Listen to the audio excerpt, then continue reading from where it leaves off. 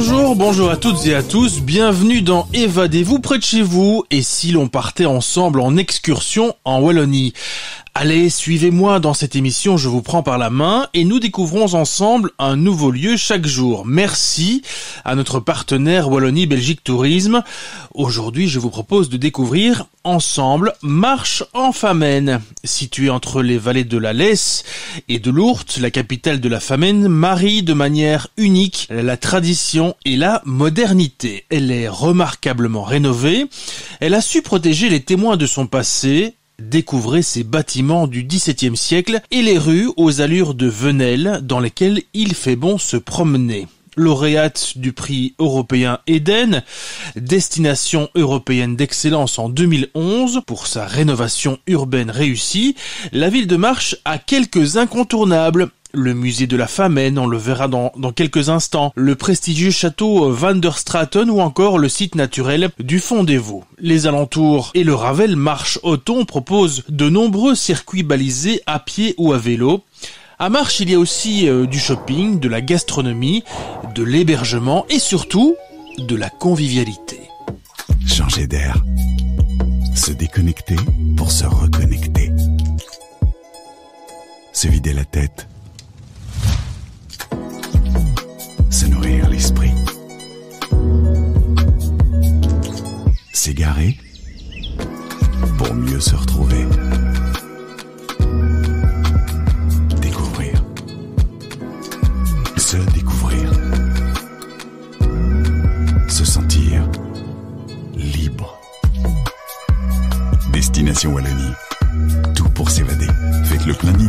Sur visitewallonia.be. Avant de vous présenter mon premier invité, je vous dresse la carte d'identité de Marche en Famenne. 17 400 habitants. On les appelle les Marchois, les Marchoises. Une superficie de 121 km et Marche en Famenne est située en province du Luxembourg. Et une fois n'est pas coutume pour euh, débuter cette émission, bien on va parler de gastronomie. Bonjour Anne Wallin. Bonjour. Alors Anne, si on vous appelle, c'est parce que vous êtes à la fois agricultrice mais aussi fromagère. Eh bien le, plateau du Gerny est plutôt bien connu et plutôt recommandé à Marche-en-Famenne. Qu'est-ce que vous pouvez nous proposer Anne? On a commencé donc notre exploitation, euh, on a développé la fabrication des fromages en 2009, donc cela fait déjà 11 ans. Et depuis, on a développé une gamme assez variée de fromages. Donc, euh, on a aussi bien des fromages frais que des fromages à pâte molle, des fromages à pâte pressée, des fromages euh, à pâte pressée cuite. Et on, fait aussi un petit peu des yaourts à boire. Donc voilà, on a une gamme assez large et grâce à cela, on peut proposer aux, clients qui le souhaitent des plateaux de dégustation pour euh, leur réception entre amis. Euh, je, dois dire que pour le moment, après le confinement, euh, c'est une demande qui est assez bien développée et, qui reprend qui reprend bien.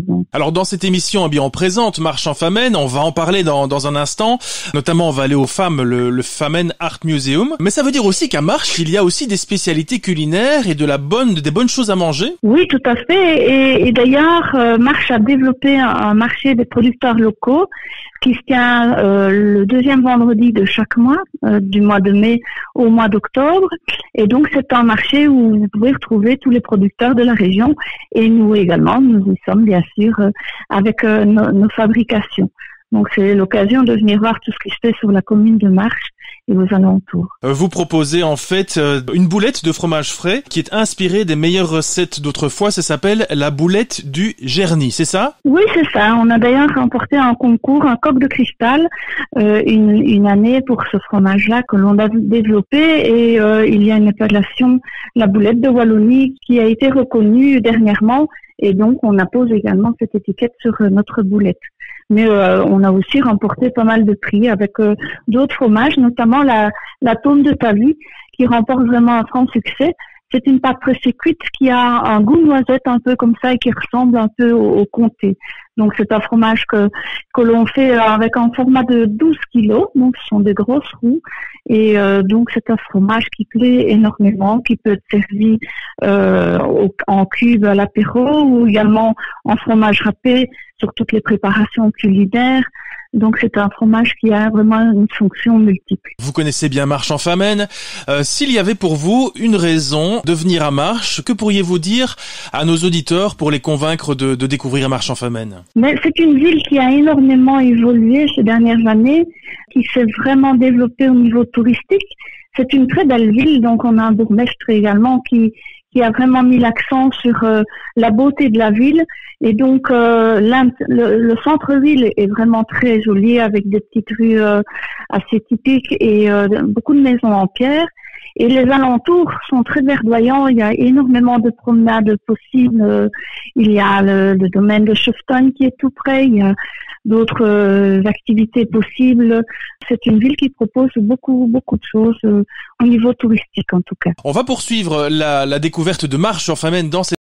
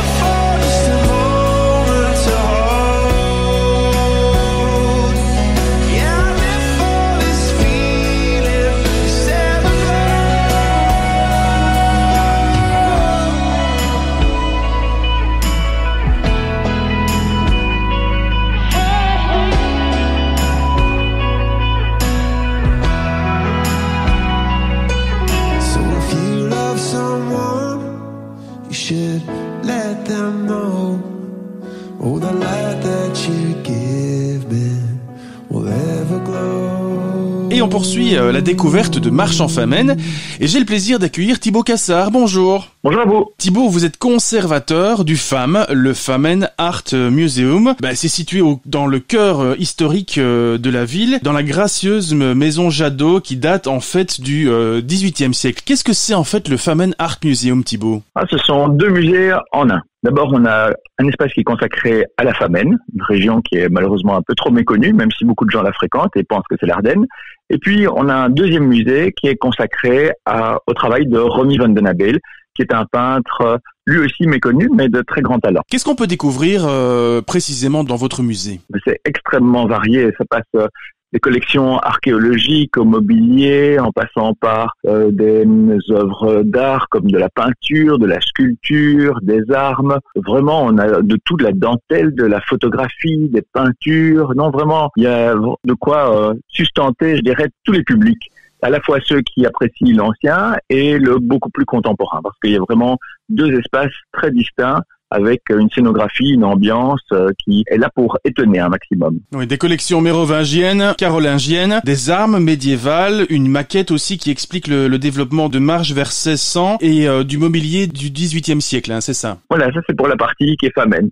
En fait, dans tout cet espace-là, ce qu'on essaye de faire, c'est de montrer la richesse de, de cette région. Parce que donc beaucoup de gens qui euh, sont à Durbuy, à Rochefort, sont convaincus qu'il s'agit de l'Ardenne. Et, non, en fait, euh, nous, ce qu'on essaye de, bien mettre en avant, c'est la spécificité de, notre région. Et malgré le fait qu'il s'agisse d'une région qui, par euh, son histoire, était assez pauvre, eh bien, il y a néanmoins eu une grande richesse de, de création et, d'œuvres euh, qui s'y sont retrouvés. On présente tout cela bah, à travers presque 2 millions d'histoires. Si on veut voir un beau musée, il ne faut pas aller spécialement à Liège, à Namur, à, Bruxelles. Non, vous, vous avez ça aussi à Marche-en-Famenne. Voilà, exactement. Alors, il y a notamment l'autre partie qui est consacrée à, à Romy van den Romy van c'est un, peintre qui touche à l'hyperréalisme, au surréalisme, mais aussi à beaucoup d'autres courants d'art de la deuxième moitié du XXe siècle. Et je pense que c'est euh, une véritable surprise pour toutes les personnes qui n'en ont jamais entendu parler, parce qu'il est assez méconnu, de se dire que un tel peintre leur a échappé. Et il était non seulement peintre, mais également euh, créateur de bijoux, sculpteur. Il a expérimenté toutes sortes de choses.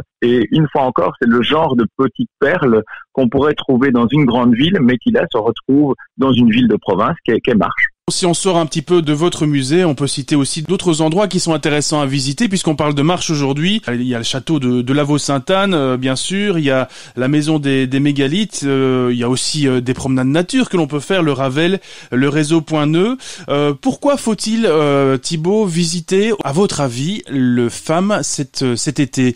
Il y a plusieurs raisons. Euh, D'abord parce que il y a des activités qui sont euh, organisées, notamment euh, cet été, on a une exposition consacrée au cactus inébranlable. Alors ça, c'est une maison d'édition, encore une fois, une espèce de, petite perle, euh, une maison d'édition donc qui euh, a utilisé toute une série d'œuvres d'art assez remarquables pour illustrer les couvertures. Et donc, c'est l'occasion de découvrir et ses œuvres d'art et les textes publiés par euh, cette maison d'édition. Une exposition comme a priori il n'y en a ja- il n'y en a jamais eu puisque à ma connaissance jamais aucune exposition n'a été consacrée aux œuvres d'art illustrant des couvertures. C'est une première chose.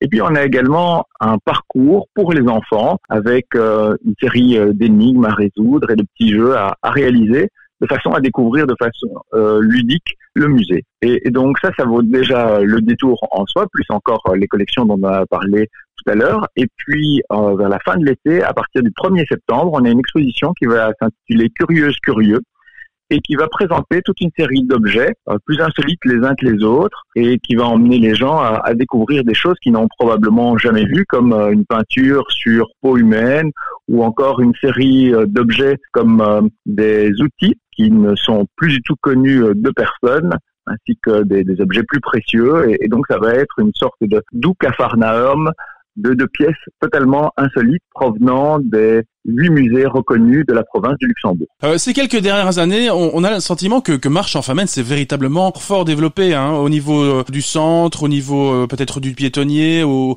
au niveau de l'attractivité en tout cas. C'est vrai, il y a des, des, grands efforts qui ont été menés depuis les années 80 pour d'abord conserver un maximum de bâtiments anciens, puis pour les restaurer, leur donner une nouvelle affectation. Marche, c'est euh, encore une fois une ville qui a un réel potentiel touristique dont on se rend pas compte, mais je dirais que face à, la concurrence de, villes comme euh, Durbuy ou Rochefort ou La Roche qui sont à proximité immédiate, qui jouent à fond la carte du tourisme, eh bien Marche ne met pas encore euh, cet atout en avant, alors que potentiellement, eh bien, il y a des choses absolument remarquables à y voir. Il y a une ambiance très conviviale. C'est une ville pleine de qualité. À proximité aussi, vous avez euh, la très ancienne église de Waha, qui elle aussi vaut le détour avec des vitraux de, de Folon et, de remarquables sculptures aussi. Donc tout ça, ben, ça, ça fait en sorte que cette ville est agréable à vivre, agréable à visiter et de nouveau pleine de surprises. Il y a aussi quelques euh, particularités euh, culinaires aussi. Il y a le matoufé. Euh, je ne sais pas si vous connaissez. Il y a le, c'est une préparation à base de lard maigre, d'œufs, de lait, de farine qui vaut le détour apparemment. Il y a le plateau de, du Gerny. Il y a les bières de la brasserie Atrium. Le baiser de marche aussi. C'est une pâtisserie, un vrai petit régal, semble-t-il. Ça veut dire qu'il y a aussi l'occasion de d'avoir du du bien vivre, de la bonne gastronomie aussi à Marche euh, moi, j'ai été intronisé euh, parmi euh, la confrérie du Matoufet, donc c'est aussi de la convivialité, un esprit bon enfant et le goût des bonnes choses, effectivement. Et comme vous le citiez, eh il y a la, bière qui est celle d'Atrium qui s'est installée dans la rue des Brasseurs depuis peu et qui a remporté énormément de prix pour la qualité de leur travail. Et, et il y a beaucoup d'autres brasseries, beaucoup de micro-brasseries qui sont installées dans l'ensemble de la Famenne et euh, qu'on peut retrouver aussi dans notre boutique justement au musée. Donc euh, ça, ça fait également partie des, des attraits euh, du musée, j'en profite pour le dire. Il y a beaucoup d'autres spécialités et d'excellents restaurants. Il y a la truite dorée qu'on peut manger à, en Surlaisse et puis il y a toutes les salaisons ici qui font la spécialité de la région. Non, il y a vraiment de quoi se, se sustenter. Comme vous le dites, il y a également des, des fromages, des desserts en tout genre. C'est une région où euh, il fait bon habiter et euh, bon manger aussi. Thibaut Cassard, je rappelle que vous êtes le, conservateur euh, du FAM Famen Art Museum, que vous aimez cette région aussi, on l'entend. Peut-être un, dernier mot sur un conseil à donner à nos auditeurs. Tout simplement cette question, pourquoi, selon vous, il faut passer par Marche en Famen cet été? Pour quelles raisons faut-il que nos auditeurs viennent vous dire bonjour? Je pense qu'ils doivent venir tout simplement parce que pour ceux qui n'ont jamais mis les, les pieds à Marche, seront étonnés. Et pour ceux qui sont venus il y a 20 ou 30 ans, eux aussi seront étonnés. En fait, euh, c'est une ville qui a complètement euh, changé, qui avait très mauvaise réputation au siècle dernier et, même au, 19e siècle aussi, parce que c'est une ville qui n'était pas forcément très jolie, peut-être un peu sale, euh, encombrée aussi, et qui maintenant s'est complètement métamorphosée et a remis en avant toutes les qualités architecturales qui s'y trouvent et, il y a également, comme vous l'avez dit, des endroits où manger agréablement, où profiter de beaux paysages et, tout cela euh, ben, dans quelques kilomètres carrés. C'était Thibaut Cassard, conservateur du FAM, le Famen Art Museum. Merci de nous avoir accordé ces quelques instants pour nous parler de Marche en Famen. Nous, on fait une petite pause musicale et, et on se retrouve dans un instant. On continue de parler de, de Marche. Merci Thibaut, à bientôt. Je vous en prie, c'est un grand plaisir.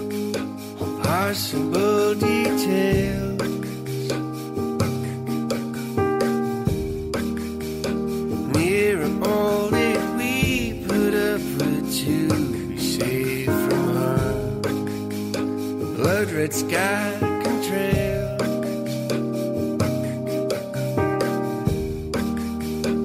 Every motive I supply to dance away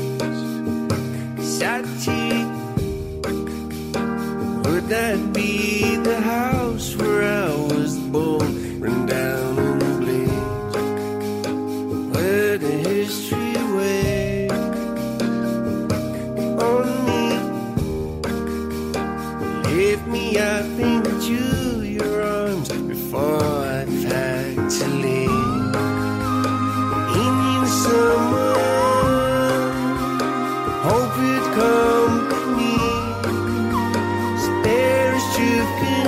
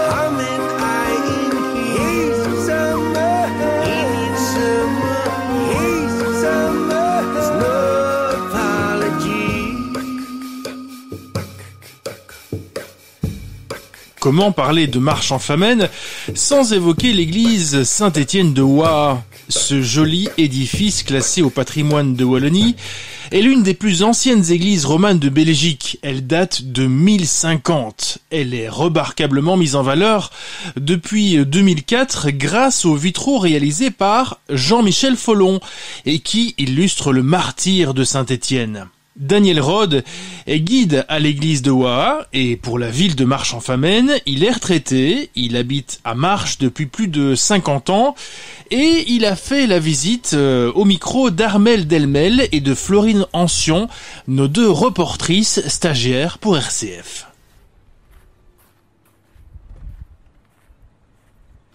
Donc ici, Awa'a, deux syllabes, en celte, ça veut dire une situation à flanc de colline. Donc nous sommes, par rapport à la ville de Marche, plus de 100 mètres plus haut.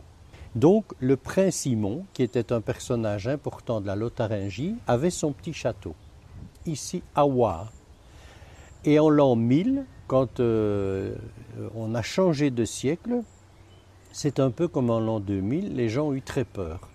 La chrétienté était à son maximum. Donc lui, il voulait absolument faire quelque chose pour la chrétienté. Donc il a donné l'emplacement de son château pour en faire une église que l'on a construite en 1050, qui était pratiquement comme ça, sauf la tour. C'est un bâtiment en pierre, mais qui n'était pas de cette structure. hein. Il y avait plusieurs portes.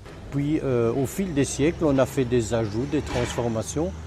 Et puis la porte qui est devant nous, avec euh, l'agneau mystique euh, sur le tympan, n'est là que depuis plus, ou moins 150 ans. Regardez un petit peu la tour comme elle est jolie. Donc vous avez deux prismes à base carrée et une pyramide à base hexagonale et puis seulement le, coq sur euh, la croix là. À côté de l'église ici, il y a un arbre. C'est un tilleul. Parce que dans nos villages de Famenne et d'Ardennes, près des églises, près des- dans les cours d'école et dans- sur les places publiques, il y avait euh, le tilleul, qui est l'arbre de la fécondité. Celui-là, il a plusieurs centaines d'années. Mais comme il est euh, assez crevassé, euh, les universitaires de Liège ne savent pas le- faire la dendrochronologie, donc la- le dater exact de l'arbre. Et là, on rendait la justice. Donc, le, Seigneur sortait de l'église et rendait la justice au pied de l'arbre. C'était une justice de haute cour à voir.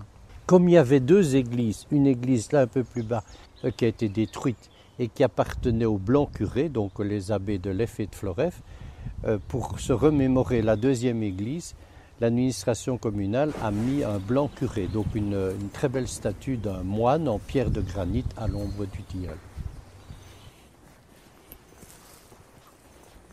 Bien sûr, autour, il y avait le cimetière, puisque les cimetières étaient autour des églises dans le temps. Comme vous le savez, on les a éloignés parce que les gens ont eu peur des morts.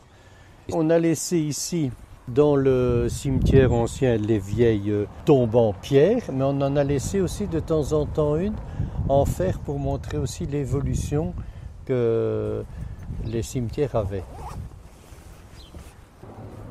Donc voilà. Voilà l'église de War. Donc c'est un bâtiment classique roman, donc avec la croix, avec le chœur, et dans le chœur, vous avez à gauche la chapelle. Le Seigneur euh, assistait à la messe. L'histoire des vitraux de Follon. Donc M. Follon a fait tous les vitraux, mais surtout il a voulu noter une histoire pour les vitraux du bas. Donc les six vitraux du bas racontent l'histoire du saint de l'Église, Saint Étienne, premier martyr. Et il y a un sens à ces vitraux, parce que comme vous le savez, toutes les églises catholiques sont orientées vers l'est soleil levant. Il a joué avec la lumière, mais ces six vitraux-là racontent les différentes étapes de la vie d'Étienne, depuis sa mort, l'abandon devant la porte d'un évêque, sa sentence par les docteurs de la loi et sa condamnation. Il est abandonné seul au milieu de la terre, mais il est aidé, puisque nous sommes dans une église catholique, par euh, un ange et euh, une euh, colombe. Le vitrail suivant, il est ici, le quatrième vitrail, un des plus photographiés.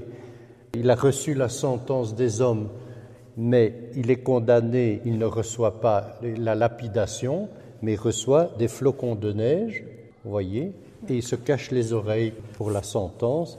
Et les autres vitraux, c'est son entrée au paradis et, si on peut appeler, la résurrection avec les, différents arbres, les arbres de vie. Et tous les autres vitraux, ce sont des colombes avec des oiseaux de différentes couleurs sur un ton bleu.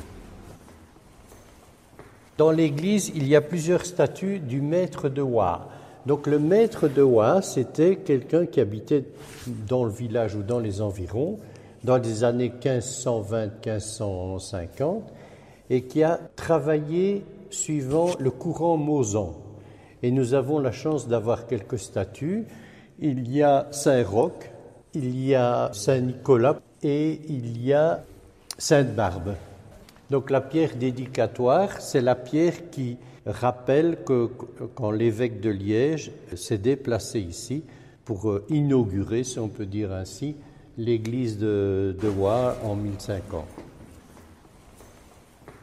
Donc il y a encore des messes toutes les semaines, euh, le dimanche à 9h30. Quand il y a un rayon de soleil, c'est extrêmement beau. Moi, j'y suis venu des, centaines de fois et le soleil n'est jamais le même. Suivant la saison, il a diff différentes hauteurs et, et différentes euh, couleurs avec tous ces vitraux. Donc, il y avait beaucoup de demandes de cérémonies particulières, en l'occurrence des, mariages. Nous venons de terminer une demi-heure d'émission sur Marche en Famenne. J'espère que vous avez euh, appris certaines choses concernant euh, Marche. En tout cas, euh, on vous retrouve très bientôt pour une nouvelle destination. Merci de nous avoir accompagnés ce matin et je vous souhaite une excellente journée.